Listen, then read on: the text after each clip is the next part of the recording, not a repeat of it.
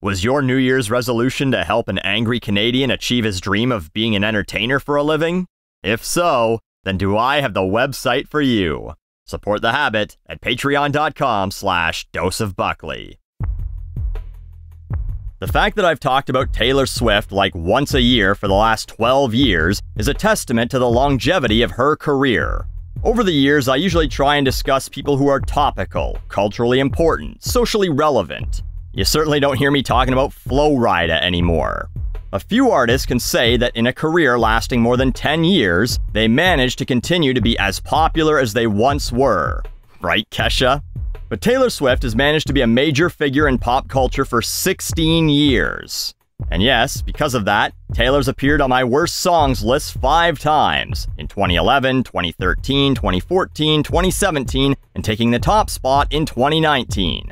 I've also autopsied three of her songs in 2012, 2017, and 2020. And I mocked her a few years ago for trying to copyright phrases she didn't make up and last year for releasing eight copies of the same album with different cover arts to milk her fans for every last dollar they have. Which was met with a bunch of people going, She's not forcing them to! Which, sure, she's not. She's not holding a gun to their head. Just like a PS5 scalper isn't forcing you to buy one for a $1,000, but they're still scumbags. Anyway, perhaps for the first time in 12 years of discussing Taylor Swift's music and career, I'm actually going to defend her. Late last year, Taylor Swift released Red, Taylor's version, a re recording of her 2012 album. This was a follow up to her April release of Fearless, Taylor's version, which of course was a re recording of her 2008 album. A few people have reached out to me, including someone on Reddit, to ask me, do I think this is another cash grab like releasing eight album covers and hoodies with a word on them for absurd amounts of money? And the answer is yes. But first, let's talk about why Taylor Swift is doing this, because it's actually kind of funny. So, a few years back, she left her original label, Big Machine Records, to sign with Republic Records, a division of Universal Music. Now, here's where the fun begins. Big Machine, now effectively without its biggest star, goes up for sale and is purchased by Ithaca Holdings, a company owned by Scooter Braun. Scooter, if you don't know, is Justin Bieber and Ariana Grande's manager and owns a couple of record labels. He's also an adult man who prefers to be called Scooter. Taylor Swift and Boot Scooter Boogie haven't always got along, and so, Taylor was apparently furious that Big Machine was sold to him. Why? She's not there anymore. Nothing to do with her, right? Well, Big Machine still owned all the masters of her music, and all the rights to do whatever the fuck they want with said masters. This is what happens when you make record deals when you're like 15 years old, not knowing that you'd become one of the biggest fucking artists in the whole world. So now her entire catalog is owned by her greatest enemy. Taylor has since claimed that she tried to buy the rights to her songs back when she left, and that she didn't know that all of her music was going to be sold to Scooty Puff Jr. Scott Borchetta, founder of Big Machine, said, First off, I texted you the night before, so you did know. And second, we tried to give her the rights back to her music. All she had to do was just re sign with us for 10 years.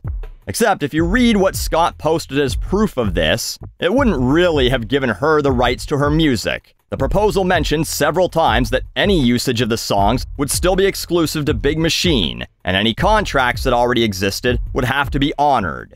So he doesn't refute that Taylor wanted to leave the label, purchase the rights to all her music outright, and Big Machine said no. Because of course they said no. That's all they've got. The rest of their roster includes Florida Georgia Line, Tim McGraw, Sugarland, the group formerly known as Lady Antebellum, and a dozen other country nobodies.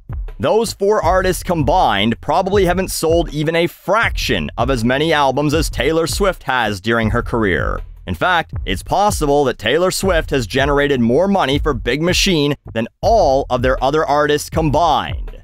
Selling Taylor Swift's catalog to her would have been like selling the engine, steering wheel, and driver's seat of a 67 Corvette separately, and then trying to sell the rest of the car to someone else. Good luck finding a buyer that's going to pay top dollar.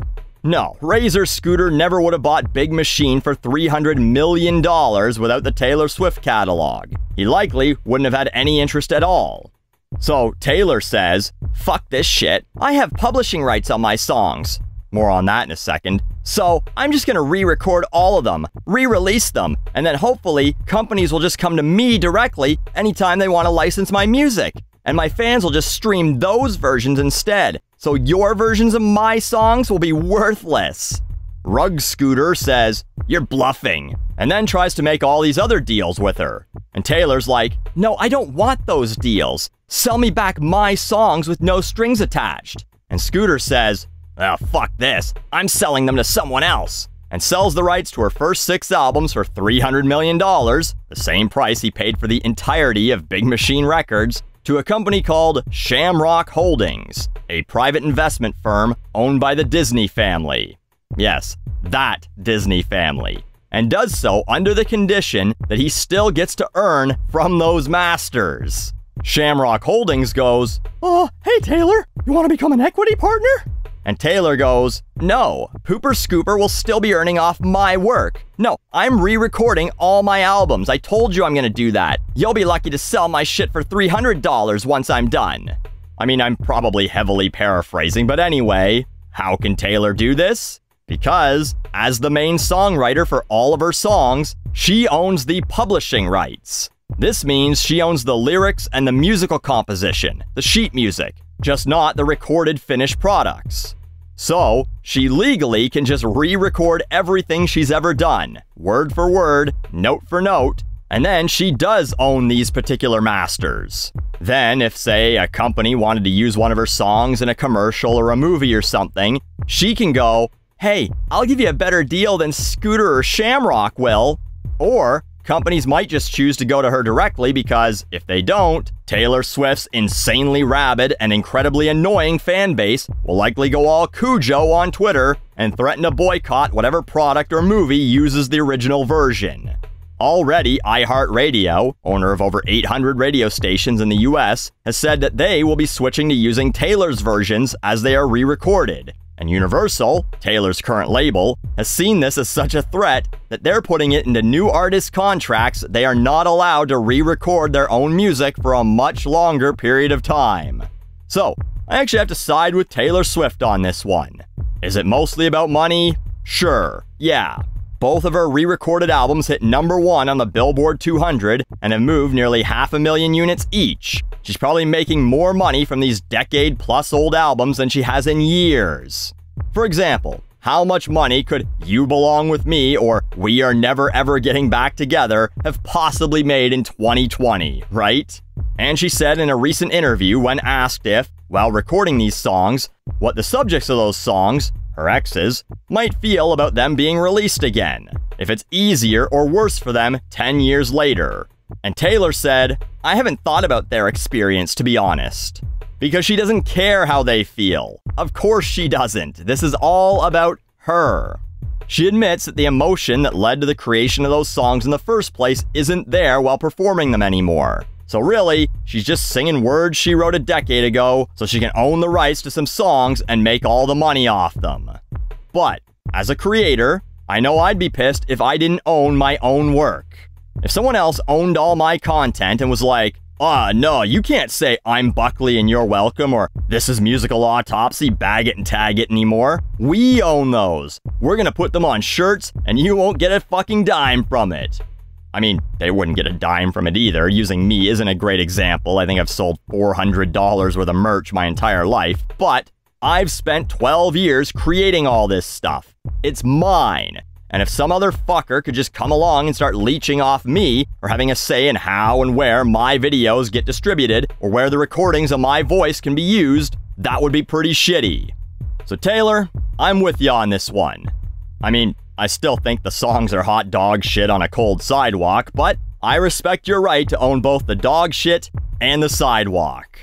Plus, again, in any argument, how do you ever side with an adult man named Scooter?